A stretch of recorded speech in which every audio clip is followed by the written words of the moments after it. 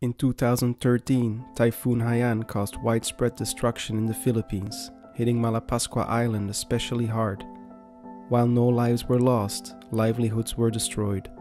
It was the thresher sharks and the draw for divers to catch a glimpse of one of the most vulnerable open ocean shark species that allowed the island to prosper again.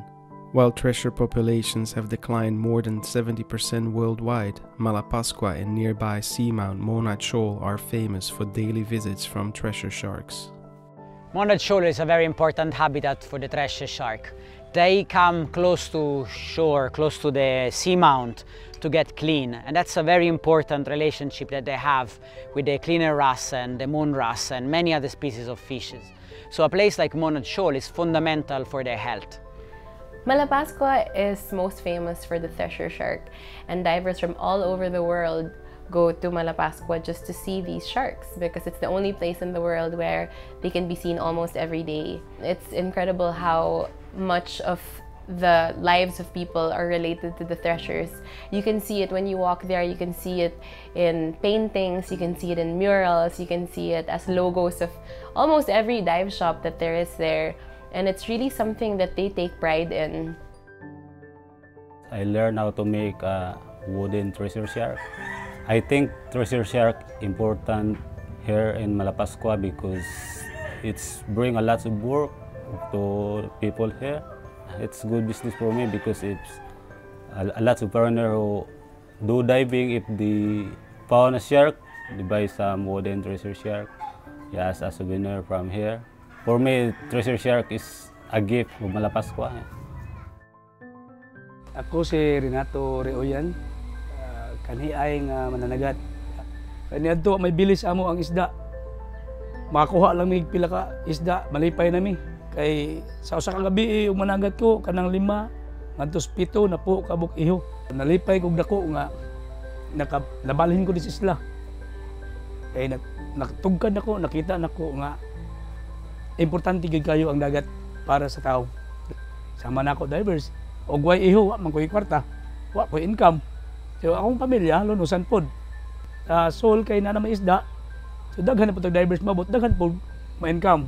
So kung wa pa mi undang kaniadto to, pamin ako karon wala wala na isda ang unad. We've been doing our best to protect the treasure sharks. It's a constant threat when there are commercial fishing boats fishing nearby. We managed to organize a group of men to patrol Monad Shoal and we call them Migo sa Iho, or Friends of Sharks. They're patrolling Monad Shoal 24-7 just to shoo away the illegal fishermen. Kining ang thresher shark dako kayo gikatabang sukad nga na discovery diri sa Malapascua. Ang local government ni deputize og uh, bantay dagat aron kaprotektahan ang maong monad sol. Working around the Philippines, you very often come across thresher shark meat in the market. The meat is used locally with a very low market value less than a dollar a kilos in many places. So the economical value of the live animal here is much higher than a dead one in the market. While thresher meat is consumed locally in the Philippines, the fins are often exported. The demand in the international shark fin trade and the lack of adequate management of catch has led to huge declines. If unchecked, the very sharks that sustain this ecotourism will disappear forever. The Philippines is in a unique position to advocate for the protection of thresher sharks globally because of the tourism value it has in Daanbantayan. It's just amazing how much of the economy of the municipality is hinged on protecting these sharks and showing these sharks to tourists that go there. This year at CITES COP17 in South Africa, the world's governments will debate whether to grant thresher sharks the global protections they need.